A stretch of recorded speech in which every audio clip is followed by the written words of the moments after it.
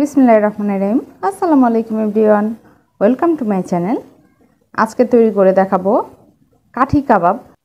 বানানো সহজ, খেতে আলহামদুলিল্লাহ অনেক বেশি মজার। এটা কোনো অংশে শিক্ষার থেকে কম না। আপনারা বাসায় তৈরি করলে বুঝতে পারবেন। এই রেসিপিটা পছন্দ করবে না এমন কেউ নেই। বড়, ছোট সবাই এটা খুব বেশি পছন্দ করবে। এটা যে কোনো পরোটা বা নান, রুটি এটা দিয়ে খেতে খুবই ভালো লাগে। তো আশা করছি আজকের রেসিপি সবার ভালো লাগবে। ভালো লাগলে আমার চ্যানেলটিকে সাবস্ক্রাইব করে আমার সাথেই থাকবেন। তো চলুন দেখে নেওয়া যাক এই কাঠি কাবাবটা কীভাবে তৈরি করতে হয়। এটার জন্য যা যা লাগবে, এখানে আমি হাড় ছাড়ানো তিনশো গ্রাম গরুর মাংস এরকম লম্বা করে, একদম পাতলা করে কেটে নিয়েছি। যে কোনো কাবাবের ক্ষেত্রে সবচেয়ে ভালো হয় আপনারা রানের মাংসটা যদি ইউজ করতে পারেন তাহলে। তো মাংসগুলোকে ধুয়ে পরিষ্কার করে পানি ঝরিয়ে নিয়েছি। এরপর এর মধ্যে স্বাদ মতো লবণ, দেড় চা চামচ মরিচের গুঁড়া। আমি এখানে দেড় চা চামচ ইউজ করেছি। আপনারা আপনাদের পছন্দ অনুযায়ী দিয়ে নেবেন। ঝালটা যে যেরকম খেতে চান সেরকম দিবেন। এরপরে দিয়ে দিয়েছি এক চা চামচ হলুদের গুঁড়া, এক চা চামচ ধনিয়ার গুঁড়া, এক চা চামচ গরম মশলার গুঁড়া আর দেড় টেবিল চামচ আদা রসুন বাটা। এরপরে দিয়ে দিচ্ছি এক টেবিল চামচ সয়া সস। সবগুলো উপকরণ খুব ভালো করে এই মাংসের সাথে এখন মিশিয়ে নিতে হবে। এই কাঠি কাবাবের ক্ষেত্রে অনেকেই অনেক সময় তেল দিয়ে থাকে। আমি এটার ভিতরে কোনো প্রকার তেল দিয়ে মাখাই না। এইভাবে মাখিয়ে এখন আধা ঘণ্টার জন্য এটাকে রেস্টে রেখে দিই এটাকে ঢেকে আমি আধা ঘণ্টা রেস্টে রেখে দিব। এর মধ্যে আমি কিছু টুথপিক পানির ভিতরে ভিজিয়ে রেখেছিলাম। পানিতে ভিজিয়ে রাখার কারণ হচ্ছে যখন আমরা কাঠি কাবাব ভাজবো তখন এই কাঠিগুলো যাতে পুড়ে না যায় সেই জন্য পানিতে ভিজিয়ে রাখাটাও জরুরি। এখন আধা ঘণ্টা পরে মাংসের ঢাকনাটা তুলে এটাকে আবার একটু মাখিয়ে নিয়েছি। এরপরে একটা করে কাঠি নিব আর এরকম করে গেথে নিব। কাঠির ভিতরে মাংসগুলোকে খুব ভালো করে গেথে নিতে হবে, যাতে করে এটার ভিতরে কোনো প্রকার ফাঁকা না থাকে। একদম কাঁথা যেরকম স্টাইলে আমরা সেলাই করে থাকি, ঠিক সেরকম টাইপ করেই কিন্তু এই মাংসগুলোকে কাঠির ভিতরে গেথে নিতে হবে। এইভাবে করে আমি সবগুলো কাঠি কাবাব তৈরি করে নিচ্ছি আর এটাকে ফ্রোজেন করার জন্য ঠিক এইভাবে করেই একটা এয়ারটাইট বক্সে ভরে ডিপ ফ্রিজে রেখে দিলে কিন্তু ছয় থেকে সাত মাস আপনারা রেখে খেতে পারবেন যখন প্রয়োজন।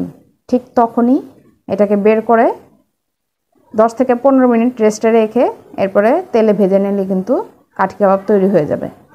তো আমি এইভাবে করে সবগুলো কাঠিতে মাংস গেঁথে নিচ্ছি। তা আমার সবগুলো কাঠি কাবাব কিন্তু একদম তৈরি।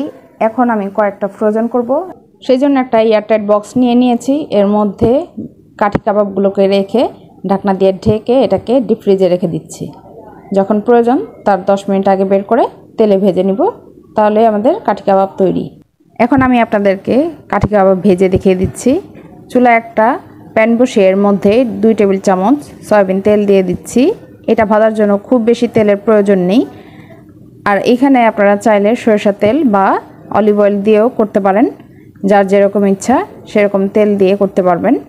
এখন প্যানের তেলটা গরম করে এর মধ্যে একে একে সবগুলো কাঠি কাবাব দিয়ে একটা পাশ যখন হয়ে যাবে, এরকম লালচে কালার হয়ে আসলে তখন এইগুলাকে উল্টে দিতে হবে। এরপরে ঢাকনা দিয়ে ঢেকে দুই থেকে তিন মিনিট এটাকে রান্না করে নিব বা ভেজে নিব। এই পর্যায়ে কিন্তু চুলার আঁচটা একই রকমই থাকবে, কমবে না। এটা কমিয়ে যদি আপনারা ভাজতে যান, তাহলে কিন্তু এটার ভিতর থেকে পানি বের হতে শুরু করবে। আর পানি বের হয়ে গেলে কাবাবের যে জুসি ভাবটা আছে, সেটা চলে যাবে ড্রাই হয়ে যাবে, তখন কাবাবটা খেতে ভালো লাগবে না। তো এইভাবে করে আমি কাবাবের চতুর্পাশ এরকম লালচে করে ভেজে নিব। একটু উল্টে পাল্টে এগুলাকে ভেজে তুলে নিচ্ছি। এইভাবে করে আমি সবগুলো কাবাব তৈরি করে নিব। আমি আবারও কয়েকটা কাবাব দিয়ে ভেজে নিচ্ছি। একইভাবে সবগুলো কাবাব আমি তৈরি করে নিব। একটা পাশ হয়ে গেলে এগুলাকে উল্টে দিতে হবে, তারপরে ঢাকনা দিয়ে ঢেকে দুই থেকে তিন মিনিট ভেজে আবারও উল্টে পাল্টে লালচে কালার করে কাবাবগুলোকে আমি ভেজে তুলে নিব। তো দেখতেই পেলেন কত সহজেই কাঠি কাবাব ঘরেই তৈরি করা যায়, আর এটা কিন্তু খেতে আলহামদুলিল্লাহ অনেক বেশি মজার। দেখতেই পাচ্ছেন, দেখতে কতটা লোভনীয় লাগছে, আর খেতে তো কোনো কথাই নেই। আপনার বাসায় তৈরি করলেই বুঝতে পারবেন। তো আশা করছি আজকের রেসিপি সবার ভালো লাগবে। ভালো লাগলে বাসায় তৈরি করবেন। আর তৈরি করে থাকলে আমাকে কমেন্ট করে জানাবেন। আমার রেসিপিগুলো যদি আপনাদের একটু হলেও ভালো লেগে থাকে বা উপকারে আসে, তাহলে আমার চ্যানেলটিকে সাবস্ক্রাইব করে আমার সাথেই থাকবেন। আর খুব বেশি ভালো লাগলে শেয়ার করে দিবেন। তো আজ এই পর্যন্তই। সবাই ভালো থাকবেন, সুস্থ থাকবেন। আমার জন্য দোয়া করবেন। আল্লাহ হাফেজ।